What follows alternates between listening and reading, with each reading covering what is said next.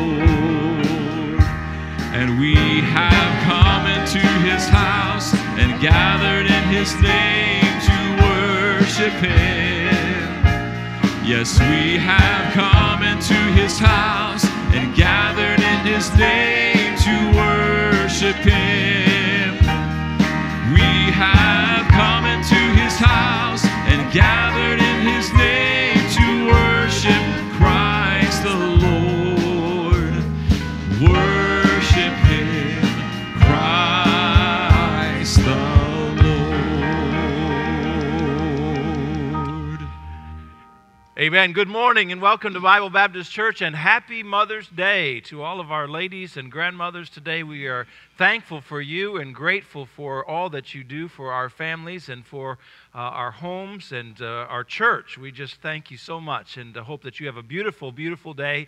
And the Lord has given us weather to go along with that beautiful Mother's Day, and we want to wish you the very best uh, today. It's good to have uh, guests and friends with us this morning, the early service. A good friend uh, from Ohio on his way back, and his wife, Colonel Tim and Vicki Edom. Uh, U.S. Air Force retired on their way back and stopped in to visit with us this morning. The last time they were here was the Friend Day morning, and then that afternoon we tore out the pews. So they walked into a whole new uh, building this time, and uh, I'm glad to see them here this morning. We have other guests uh, also in from the out of state. Uh, Skylar's family will be in the later service, and uh, uh, some of my father-in-law's here. So a lot of visitors uh, today, and we're glad for that. Welcome to those joining us online. Uh, we're glad to see some of the progress being made uh, with the capital improvement offering projects, and we have The sidewalks in the front have been done, but be careful; they don't they're not finished yet, and uh, still haven't been painted for the lines and uh, curb lines and things. So be careful there. We've got some of the areas marked that need attention. So uh, be watchful as you go there, and also in some parking areas on this side. But the work will continue, uh, Lord willing, in the next couple weeks, and we'll get some of this wrapped up. It's good to see progress being made. Amen. Good to see things going forward here at Bible Baptist Church. I've asked Brother Stacy Russell to come and lead us in our opening prayer for the early morning service. Brother Stacy and his wife Wanza service one of our deacon families. And so if you'd come, sir, and begin in prayer and uh, continue to pray for the Hunter family. Of course, the celebration of life service for Brother Tim was yesterday. I was unable to be there as my son Kenton was graduating at the very same time down at uh, Coastal College of Georgia down in Brunswick. And so uh, we extend our sympathies, of course, to all those families that have recently lost loved ones. Please remember uh, Tanya and, and uh, Tanya and Michael and, uh, in future days here. So, Brother Stacy, come and pray for us, please. Let's pray. Heavenly Father, we thank you for this time in your word. We thank you for being able to come out and worship this morning, dear Lord. We thank you for this Lord's Day, and we pray that as we go into our time of worship with you and service to you, that every song that is sung would bring you glory and honor, every word that is preached would bring you glory and honor. We again thank you for the opportunity and thank you for just the privilege to be able to come out this morning and again worship you through song and through your word. And we pray, dear Lord, as we enter into this service and go through the service and, and come out of the service, that you would give us um, your word and your will, that we might apply it to our lives, that we might bring you glory and honor, and that we might lead others to you. All these things we pray in Jesus' name and for sake. Amen. Amen. You may be seated. Let's continue singing this morning as we worship. You are my supply, my breath of life, still more awesome than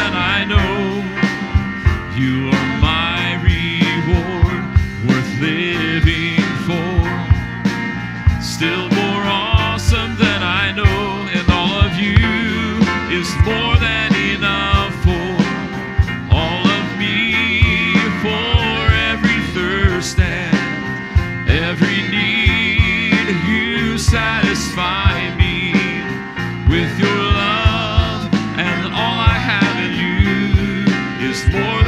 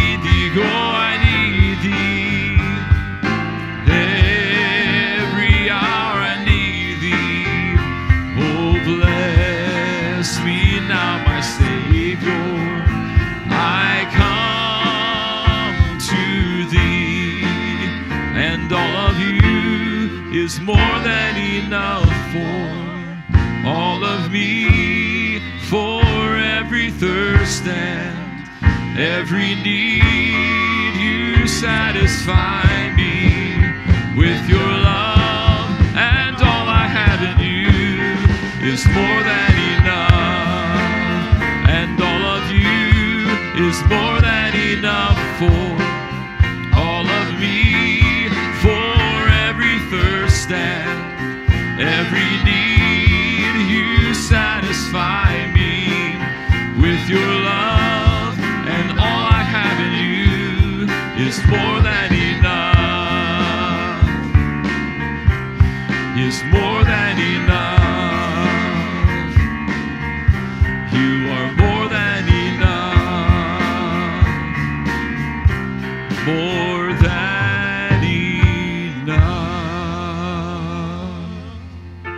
He's all we need this morning. Amen. Can you stand with me as we continue singing?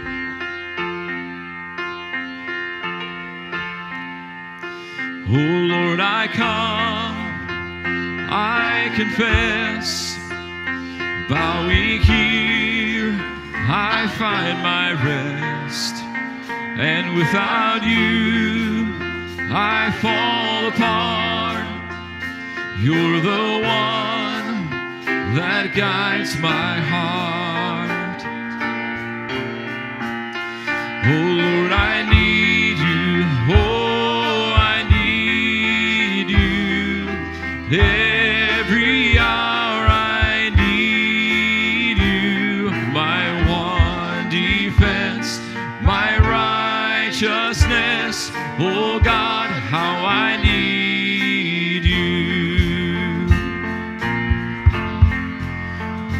sin runs deep, your grace is more.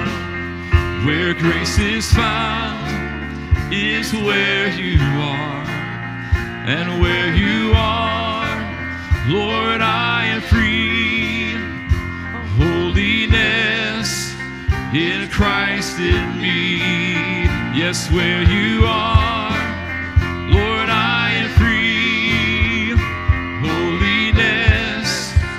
is Christ in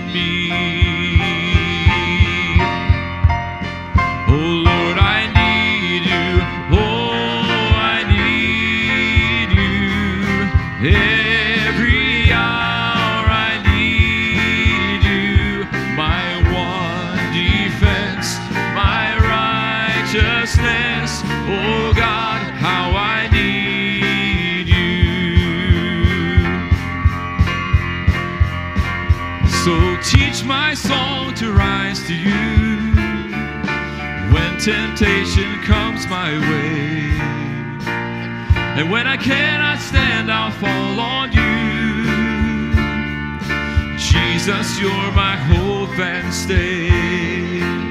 And when I cannot stand, I'll fall on you. Jesus, you're my hope and stay.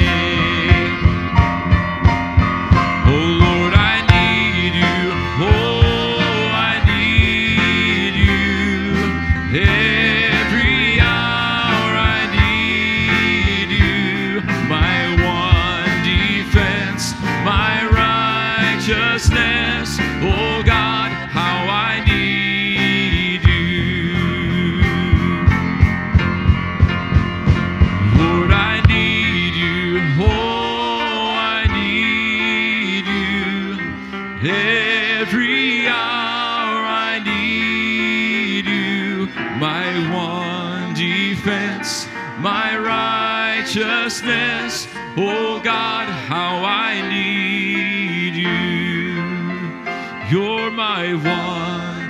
Defense, my righteousness.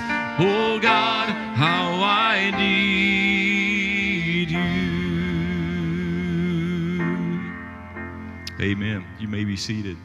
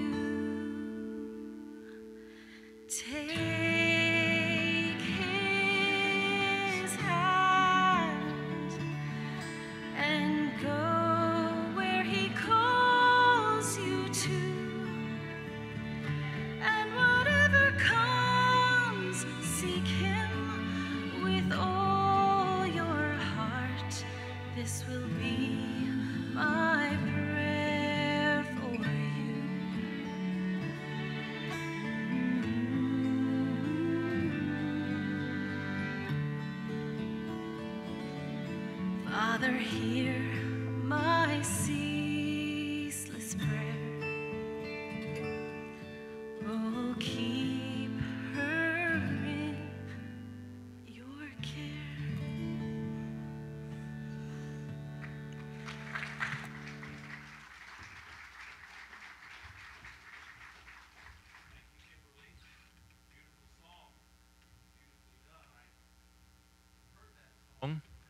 several years ago, and uh, as I was thinking of Mother's Day this year, and I thought, I know exactly who needs to sing that song, and I'm so glad that she did that today. And the uh, pictures of some of the kids from the BBC Kids Ministries, I hope that was a blessing to you. And so, Mother's Day, again, we are honored uh, to uh, have these women in our lives and to thank the Lord for them. And if your mother's already in heaven, like my mother just recently, and uh, you, you uh, think fondly of uh, those times and honor uh, her even today, amen, with your life and legacy and testimony. Well, in your Bibles today, we're going to talk about mom, but just before we do that, we're going to go to our spotlight on Scripture, the book of Ezekiel, as we've been going left to right in our Bibles from Genesis all the way through Revelation with a brief spotlight on Scripture each and every Sunday, looking at a book of the Bible, sometimes two little ones together. But today is the major prophet Ezekiel. And uh, we're going to talk about that just for a moment before we get into 1 Samuel, is where we'll be if you want to find your place in 1 Samuel. So, as we look at Ezekiel, just a quick synopsis of the book. Ezekiel, one of the major prophets, he likely belonged to, let's go with the slides, please. He likely belonged, anytime now, there we go, likely belonged to the upper class of the people. And like Jeremiah was a priest as well as a prophet, he was carried away to Babylon in 597 BC uh, by Nebuchadnezzar when Babylon came in and took captive uh, Israel there. He was uh, with other Judean nobility. His prophetic ministry began in the fifth year after his arrival in the land of exile. And the next slide, please. For the first six years of his ministry, he preached to the exiles, those uh, that had been taken captive while Jerusalem was still standing. As we learned last week about Jeremiah, eventually Jer- Jerusalem was destroyed, remember, and was uh, laid waste. And uh, later he had the difficult, uh, should say, task of teaching the generation born in captivity about the national sins which had led to that exile. His think about this. So you had a generation 70 years, so you had time of children who were not born yet uh, when they went into exile, and now they have learned uh, in the ways of Babylon. And so Jeremiah, or excuse me, Ezekiel is trying to teach them what Jeremiah had taught about the destruction of Jerusalem and the reason it was destroyed because of the sins. So you had a generation that really did not know uh, their history. They did not know their legacy because they weren't around when it happened. So he had the difficult task of teaching that generation uh, about those sins. And then his visions were far reaching, and some of them are still awaiting fulfillment. We'll see that in just a moment. Next slide, please. The expression, they shall know that I am God, occurs some 70 times through the book. So again, you see the, uh, the implication. He's reminding them of that he is the Lord of Abraham, Isaac, and Jacob because they don't know. They grew up in a foreign land, in a foreign culture, away from the teachings of, uh, of Judaism. And then he says, The hand of the Lord was upon me as well as the word of the Lord came unto me several times throughout the book. And then once more, the Jewish children in Ezekiel's day were those who in later years would return to Jerusalem at the end of the 70 year captivity. Ezekiel was a younger contemporary of Jeremiah, and while Jeremiah was concluding his prophecies in Jerusalem, Ezekiel was just beginning his ministry among the exiles. As one of the major prophets, his messages were in the forms of vision, signs, and direct prophecy. He was charged by God to be a watchman for the nation of Israel. He also made use of parables, poems, and proverbs to share the messages of God. His major visions include the valley of dry bones. You heard about that story, chapter 37 of the book the wheels of the cherubim and the invasion of Israel by a confederation of nations in the latter days. That's in chapters 38 and 39, where God Himself intervenes on behalf of His chosen people. That's a prophecy that has not happened yet, but is yet in the future. Ezekiel was written uh, during the period of 592 to 572 BC. So, a major prophet, a lot of information in that book, and again, some major prophecies that he saw and envisioned that have yet to come to pass but are still awaiting the nation of Israel. So, a good, good book, uh, Ezekiel. And we'll get to Daniel next week. Well, would you stand with me if you found your place in 1 Samuel chapter number 1? Uh, you know, the joy of pastoring, and uh, for many years, is uh, as you uh, have pastored for now 30 years almost. You have preached so many different times about Christmas and so many different times about Easter and so many times about Mother's Day and Father's Day. And one of the challenges uh, as a pastor is to have a message on a Mother's Day or a Father's Day that really applies to everybody because uh, you don't want uh, just the women listening. Amen? it's hard enough for the men to pay attention on a normal Sunday. So if they think that I'm only talking to the women, then, that, then that's not going to go over well. So trying to find a message and uh, pray for a message that uh, uh, speaks to everybody in the audience, everybody in the congregation, and after 30 years of doing it, it's a little challenging. But we find today a woman named Hannah, and she really has some great lessons for all of us. And the message today is called uh, Secrets from a Godly Mother. Secrets from a Godly Mother. And we're going to look in 1 Samuel chapter 1 to begin with, in verse 24. The Bible says, When she had weaned him, she took him up with her and three bullocks and one ephah of flour and a bottle of wine and brought him unto the house of the Lord in Shiloh. And the child was young. And they slew a bullock and brought the child to Eli. And she said, O my Lord, as thy soul liveth, my Lord, I am the woman that stood by thee here praying unto the Lord. For this child I prayed, and the Lord hath given me my petition which I asked of him. Therefore also I have lent him to the Lord. As long as he liveth, he shall be lent to the Lord. And he worshiped the Lord there. And all God's people said, Amen. Amen. Thank you, and please be seated. Secrets from a godly mother. And this message, I pray, will be a blessing to everybody in the building today, young and old, men and women, boys and girls. Secrets from a godly mother. The early events of this book of Samuel are covered in the same time period as the first chapters of the book of Judges.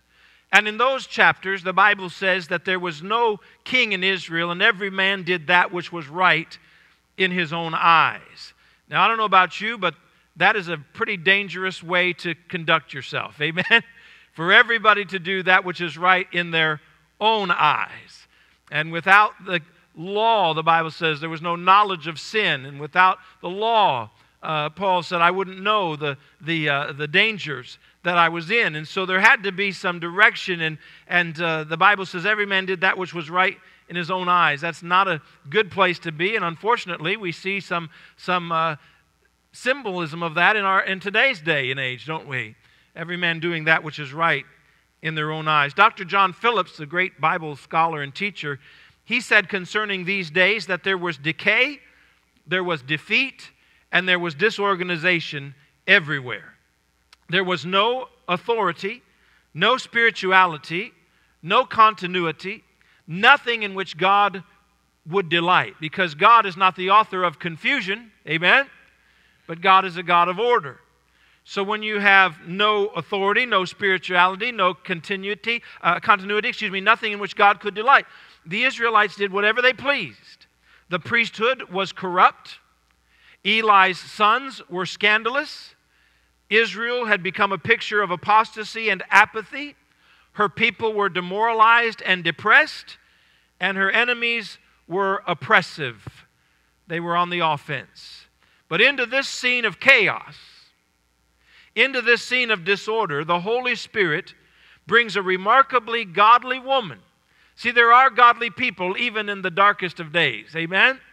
There's always a remnant of God's people. Just like the remnant we talked about with Ezekiel and Jeremiah, there's a remnant of godliness and godly people. All of the world was corrupt, but Noah found grace in the eyes of the Lord. God called Abraham out of a heathen land. God called you and I in the midst of a chaotic environment sometimes and, and backgrounds that He found a, a, purpose and put us in that purpose. And, and so God calls this young woman Hannah, whose miraculous story of faith would have a powerful impact on the people of Israel. In the midst of the chaos, God sent a deliverer, and that was Samuel, her son. From Hannah today, we're going to learn that all something all men and women can learn, some great lessons in dealing with life's problems. If you know her story, you know that Hannah had some serious problems. Hannah wanted a child more than anything. And uh, for whatever reason and time, God had said no. And she was in bitterness of soul. We're going to see that in just a moment. And she had some special things that she did that show us some great examples for godly living from this spiritual mom in Samuel. First of all, we learn from Hannah that we need to assess our situation. We need to understand the situation. You know, a lot of times people look for answers and they don't understand the problem. Amen? looking for all kinds of solutions, but they don't understand the problem. They've got to assess the situation. We've got to think about it for a minute. We've got to study on it. And that's what she did. Go back to verse number 4 of chapter 1. Verse number 4, we're going to see her problem. She was barren, she was without child, and she wanted a child more than anything. The Bible says, when the time was that uh, Elkanah, that's her husband, offered, he gave to uh, Peninnah, his wife, and to all her sons and her daughters uh, portions. But unto Hannah he gave a worthy portion, for he loved Hannah. But the Lord had shut up her womb, and her adversary also provoked her sore, for to make her fret, because the Lord had shut up her womb. And as he did so year by year, when she went up to the house of the Lord, so she provoked her. Therefore she wept and did not eat. Then said Elkanah, this is her husband, to her, Hannah, why weepest thou, and why eatest thou not, and why is thy heart grieved? Am not I better to thee than ten sons? And so she has this distress because her husband has another wife with several children, and she wants a child badly, but God has not opened her womb for a child. And she was barren. And her situation is hard to understand. Stop and think about this as you look at your own problems and your own situations today. And uh, we have a personal uh, connection with this. It took us eight years to have our first child. It was very difficult, very difficult for my wife. At one time in the early days of our church family, and I say this to any uh, young families that are experiencing this, um, God is able, amen. In the uh, very few, first uh, few years, our church uh, was starting there in Wilmington. Between my family and her family and the church families, we knew 17 couples who were expecting a child. 17 couples at one time who were expecting a child. Now, it's very difficult for my wife as the pastor's wife because she's, she's heading up baby showers for church ladies.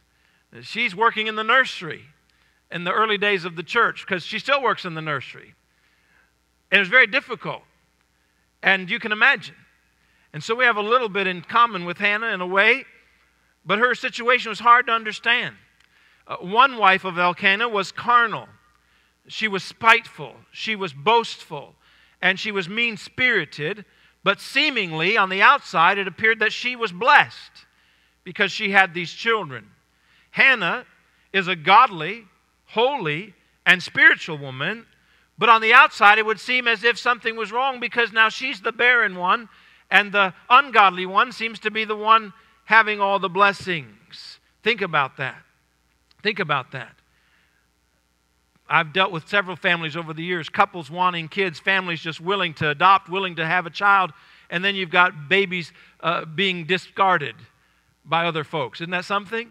So you got couples who, who do anything to have a baby, and then you got some woman who has a baby and puts it in a trash can. It doesn't seem right, amen? We've got to assess the situation. We cannot explain why she had no children, but at that season and time, God had determined that was not his will for her. And so Hannah, being a spiritual person, goes and takes her petition to the Lord. We'll see it. And sometimes life situations are just that way, aren't they? They're unexplainable. I, I cannot explain why our family endured that. I know families who endured much, much worse. I have no idea why. And you and I will, there's a lot of questions we'll never have answered on this side of heaven. You understand that? Amen? People say, well, it's wrong to question God. No, a lot of people question God in the scripture. Even Jesus questioned God. Why hast thou forsaken me? The sin is not in question. It's not a sin to question God. It's a sin to demand that God answers you because he's God and you're not. In case you forget from week to week. He may not answer you, but you can certainly question a lot of people question God. That's not the sin, but God doesn't owe you any explanation. You got that? He doesn't owe you any explanation. And so we assess the situation. Sometimes it's, it's very unexplainable. I, I, many of you know people who've never smoked a day in their life but have lung cancer. Can't explain that serving God all the days of their life, but great trials come. And it seems, as David said, he, he was envious at the wicked. And he, he saw all of their prosperity and he saw all of their seemingly uh, happy times. And, and he said, I, It has perplexed me and I was jealous. He said, Until I understood their end. He went to the house of the Lord and he understood. People serving God all the days of their life, but yet still great trials come. Think about the man Job. God Himself. God Himself testified of Job that there is none like him in all the earth. He walks uprightly and eschews evil, and there's none like him in all the earth. But great trial and tribulation came to the life of Job. Lost all that he had. Why do some children, why are some children born the picture of health and some children are born with defects or disabilities or diseases? Why? We don't we can't explain it. We don't always know the answer. And God doesn't owe us an explanation. Amen. This side of heaven, we'll never know. Assess the situation. That's what she did. Number two, we learn from her that we need to take spiritual initiative. Look at verse number 10 of that chapter. And she was in bitterness of soul and prayed unto the Lord and wept sore. And she vowed a vow and said, O Lord of hosts, if thou wilt indeed look on the affliction of thine handmaid and remember me and not forget thine handmaid, but will give unto thine handmaid a man child, then I will give him unto the Lord all the days of his life, and there shall no razor come upon his head. I guarantee you, Samuel never had a gender crisis. She asked for a man child, and that's what God gave her. Amen? A man child. But she took spiritual initiative. Notice this. She was in bitterness. The word there means anguish. She was broken. There's no doubt about it. Her heart was broken. She was distressed. But notice, she was in bitterness of soul, but she was not in bitterness toward God. Here's the spiritual lesson from the godly mother don't let your situation or circumstance drive a wedge between you and God. Because even in her bitterness of soul, it says she prayed unto God. Did you catch that? What happens by and large in the lives of people who get bitter about circumstances and situations? Does it draw them to God or away from God? Definitely, and most often, when people get a, a continuous uh, uh, no answer from God or an, uh, something that doesn't explainable or something that breaks their heart, they're driven away from God. No, no, no. Hannah knew that if she was ever going to have the answer to her prayer, it was with God, not going away from God. Did you get that? If you're ever going to have the answer to your prayer, you've got to stay with God because He's the only one who can answer your prayer. So, whatever the situation, financial, health, jobs, family, relationships. Don't let the circumstance drive you away from God because you're only going to have peace and satisfaction with God. She took spiritual initiative. She was bitter in soul, anguish, distress, heartbroken but she was not bitter toward God. She did not direct her bitterness, her, her spiritual angst against God. No, she indeed drew closer to God in the midst of her storm. And this is very interesting to me looking back on Hannah's life, and I'm sure it's been analyzed by hundreds and thousands of preachers over the years. But think with me, she sought a spiritual solution to a physical problem. In other words, she knew there was nothing too hard for the Lord.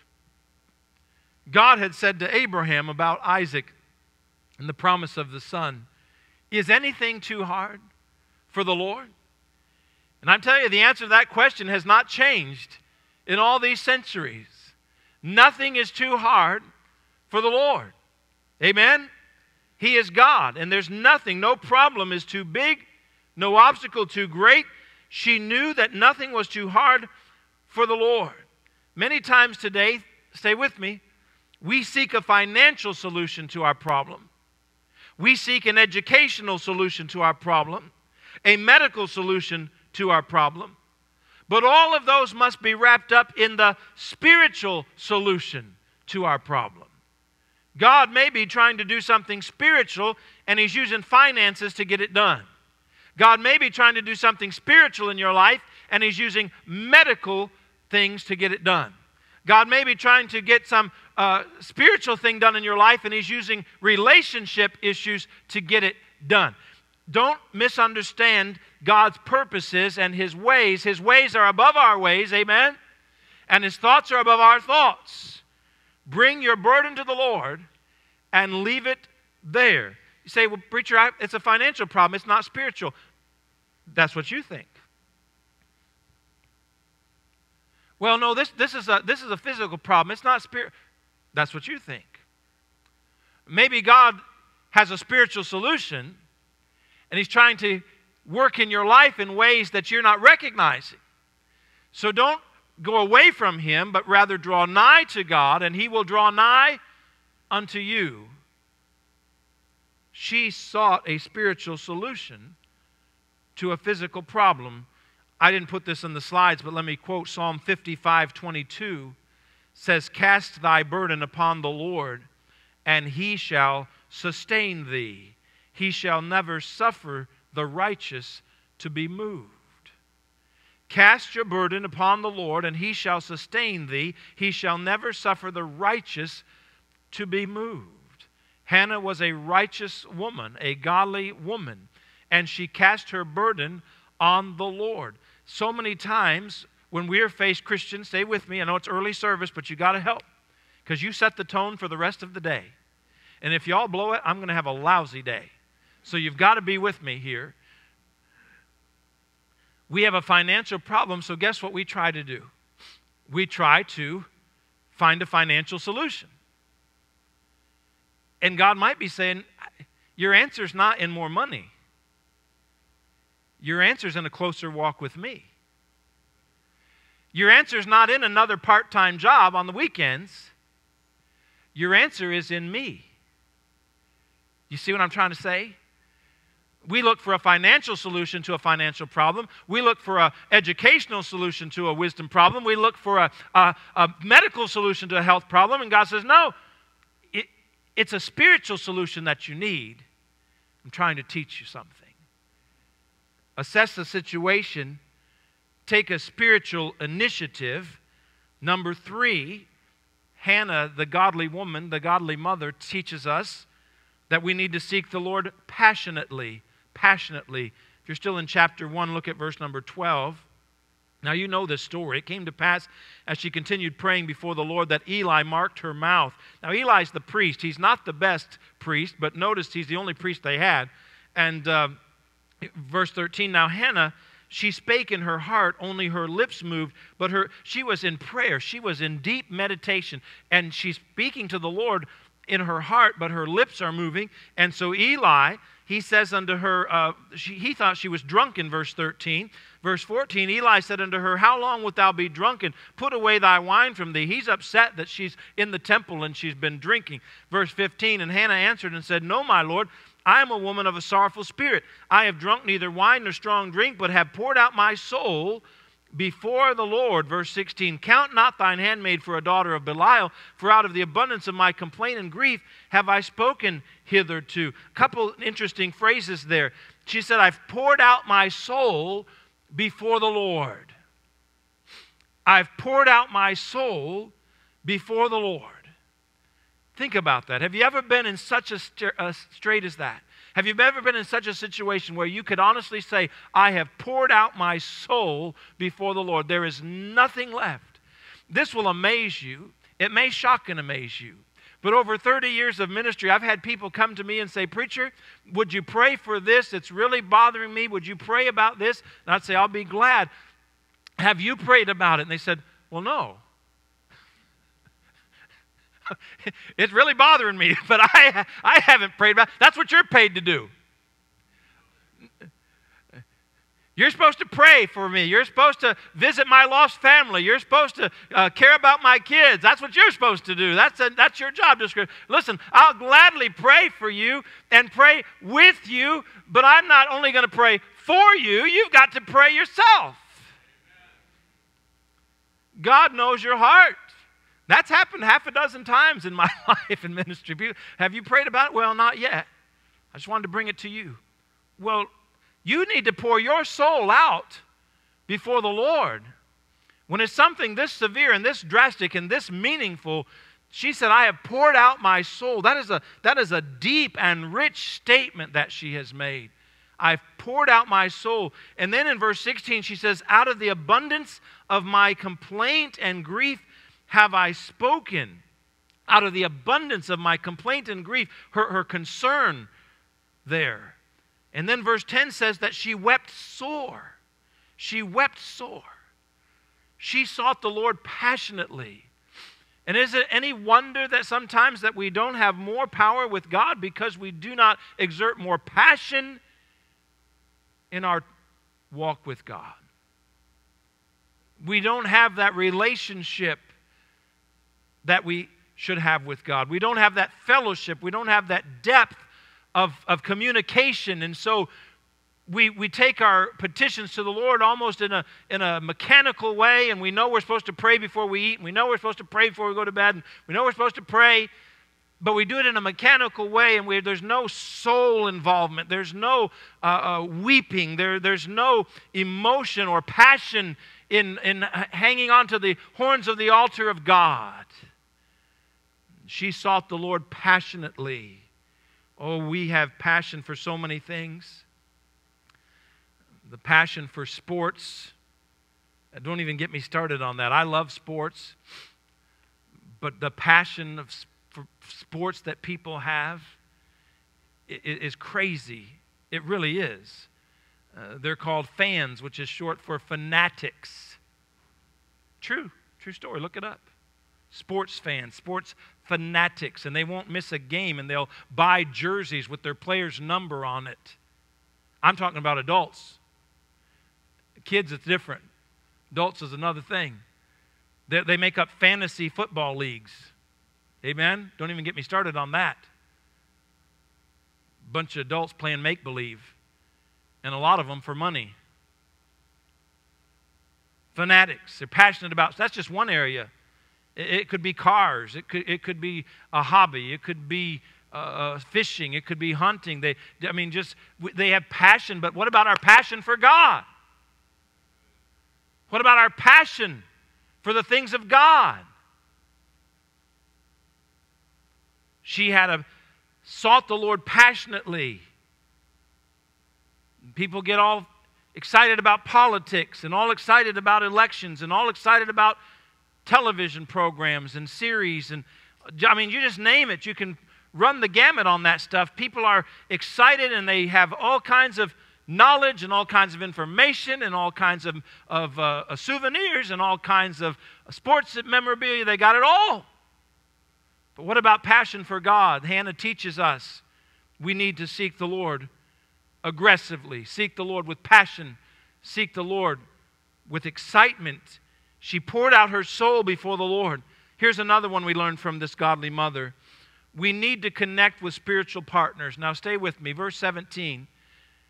Then Eli answered and said, Go in peace, and the God of Israel grant thee thy petition that thou hast asked of him. And she said, Let thine handmaid find grace in thy sight. So the woman went her way and did eat, and her countenance was no more sad. Now, hear, hear me out. We need to connect with spiritual partners. When you have an issue as deep and as heavy as Hannah had, you can't do it alone when your soul is crushed like hers, when you are poured out before the Lord, when you are broken, you've got to have help. You've got to have brothers and sisters in Christ. You've got to have spiritual uh, influence around you. Now, hear me out. Eli was not the greatest priest, but he was the priest at the time. And she shared her request with him, and he partnered with her in prayer. You need prayer partners, amen? You need brothers and sisters to help bear one another's burdens. That's one of the blessings of a church family and a congregation and having this fellowship that we have each and every week and through our Bible classes and even on Wednesday night Bible studies and, and the, the connections that we have uh, as we minister to people in need, as we did with the Hunter family or the Hernandez family, or those who are dealing with cancers or those who are uh, dealing with other issues of family and health we need each other as spiritual partners. And think with me, Eli, um, he, he told her that the Lord would grant her petition uh, that she had asked of him. He was partnering in prayer with her as the representative of God to the people of Israel. Notice, he prayed for her, but she prayed herself. He would also, Eli, this man, would have a great role in the future training of her son as the prophet of Israel. In our times of need, we can't do it alone, is the lesson we learn from this godly mother. And I encourage you to seek out spiritual people who will help you in the battle. The verse says that iron sharpeneth iron. Amen? Iron sharpeneth iron. And talks about walking together and, and not walking alone. Seek out spiritual people to help you in that battle. And God gives us people to help us in spiritual need. He gives us friends, He gives us mentors, He gives us parents and grandparents and, and, and people who have been there and done that, those kinds of situations that they have seen God work in miraculous ways and they know what God can do and share in that burden with you. But here's something that's very important. The next thing that Hannah did is she released the situation to God. Notice in verse number 18. This, this gets missed if you just read it too quick. And she said, Let thine handmaid find grace in thy sight. So the woman went her way and did eat, and her countenance was no more sad. Now, wait a minute. A flip has just, a switch has just been flipped. I said it backwards. A switch has just been flipped in Hannah's life. What was the concern of her husband? Why aren't you eating? Why, why are you so broken? Why are you sad? And now all of a sudden, she has brought her petition to the man of God. She's brought her petition to the Lord. She's poured out her soul. And God gave her an answer through this priest, through this spiritual leader of Israel. And then all of a sudden, now guess what? She did eat, and her countenance was no more sad. Now, what is that telling us? That's telling us that she released her burden to God. The phrase says, Take your burden to the Lord and leave it there. We do pretty good on the first part, we don't do very good on the second part. We bring our burden to the altar, we bring our burden to the Lord, but guess what? We keep carrying it along with us. We don't leave it there. Hannah teaches us a secret from a godly mother She's broken. She's in bitterness of soul. She pours out her heart to the Lord. She gets spiritual guidance and spiritual help. She's got somebody else on her team praying with her and for her, and she leaves it in the Lord's hands. How many of you agree that my situation in God's hands is going to be far better than my situation in my hands? And the same is true with you. I've got to put it in His hands and I've got to let Him and trust Him to take care of it in His way, in His will, in His timing.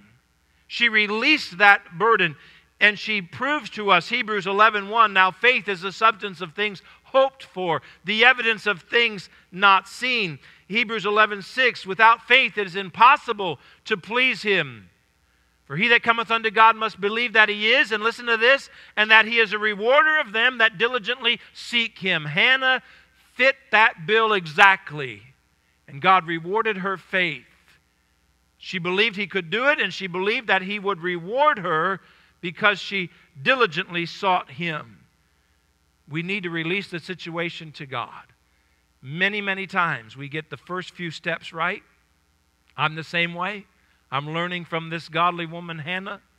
We get so far down the path, but then we still want to hang on. We still say, okay, God, handle this, but here's how I would do it. God, I'm, I'm trusting you to take care of this, but here's my number if you need help. God, I, know you've got this all figured out, but I was thinking Anybody see a problem with that? Yeah. We haven't truly released it to the Lord. We haven't truly released it to God. Secrets from a godly mother this Mother's Day take your burdens to the Lord and leave them there.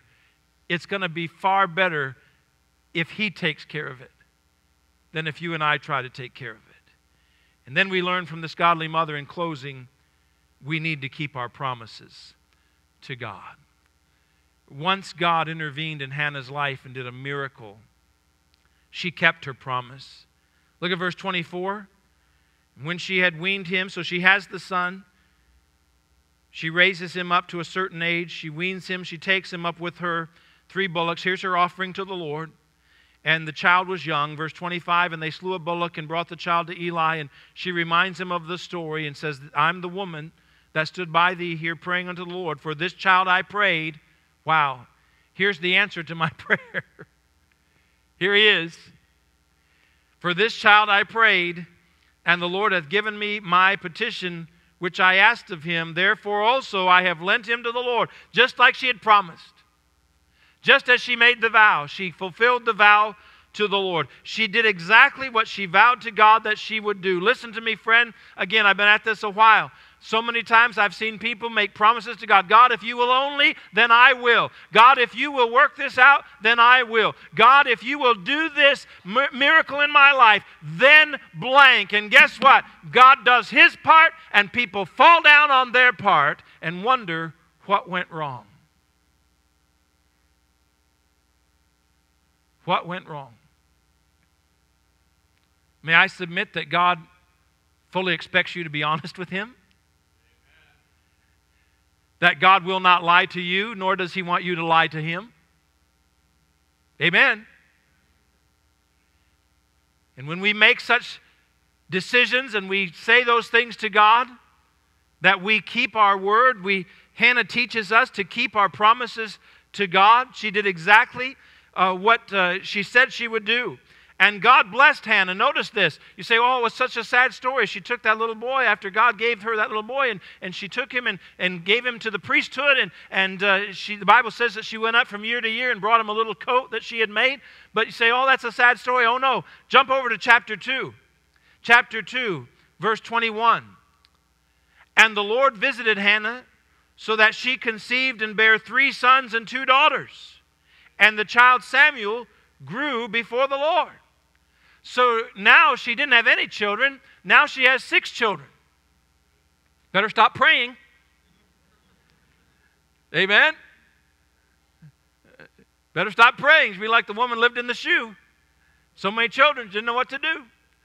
No, God blessed her, just like with Job.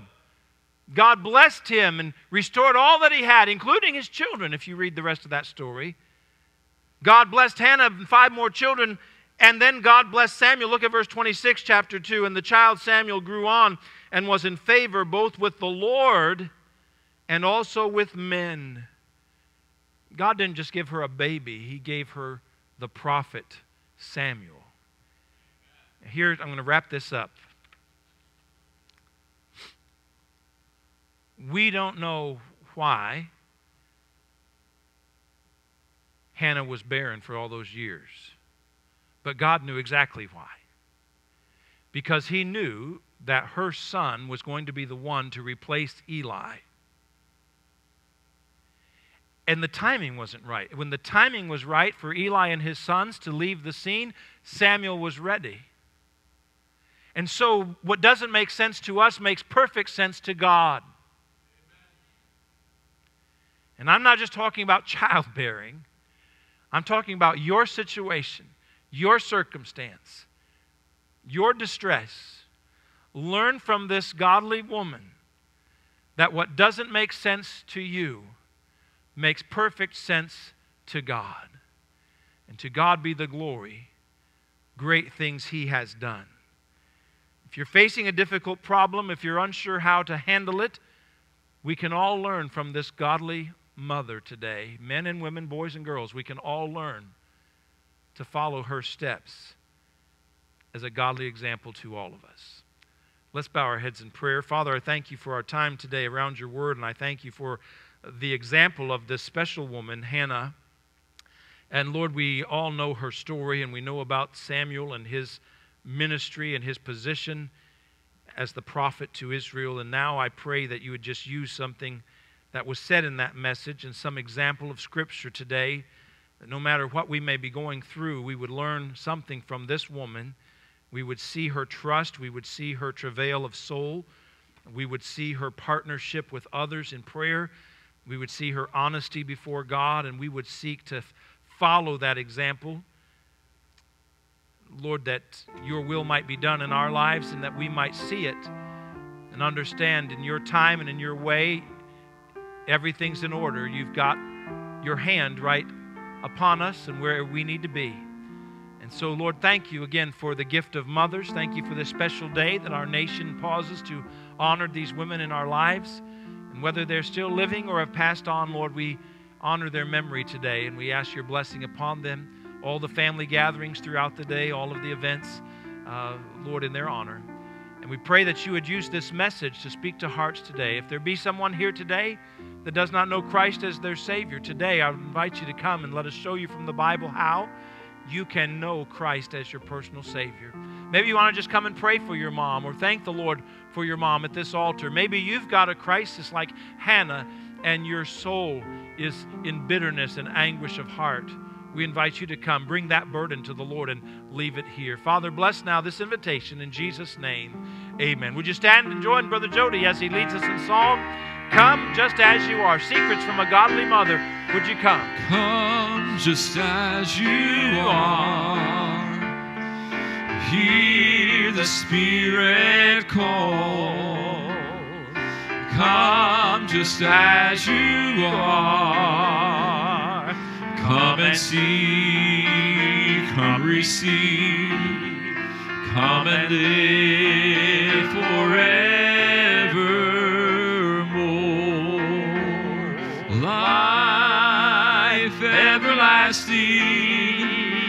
and strength for Others are coming today. for prayer this morning. We invite you to come. Taste the, The living water and never thirst again.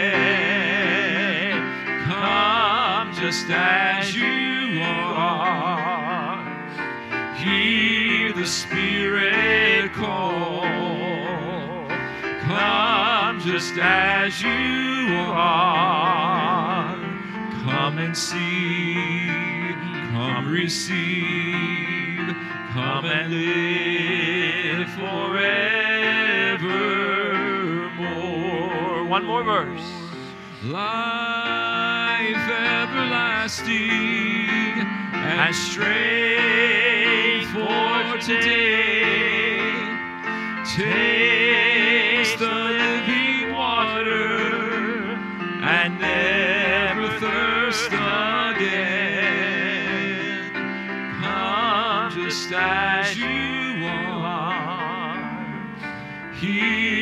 Spirit call. Come just as you are. Come and see. Come receive. Come and live.